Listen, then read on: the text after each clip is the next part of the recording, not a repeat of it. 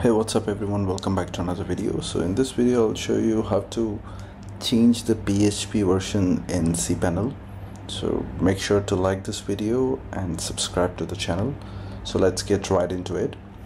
As you can see uh, we are on the cpanel login page. I'll quickly log into cpanel.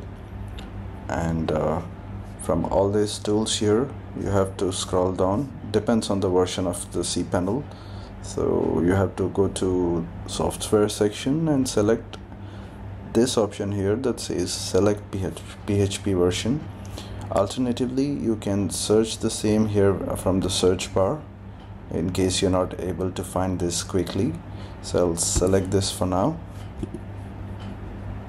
And uh, this will take you to a new screen which was PHP selector where you get to select the version which you want uh, your website to run on.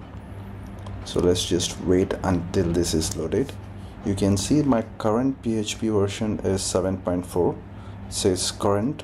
So I can change this to 7.3 or whichever version that is compatible for your uh, you know website or whichever you want to downgrade or upgrade.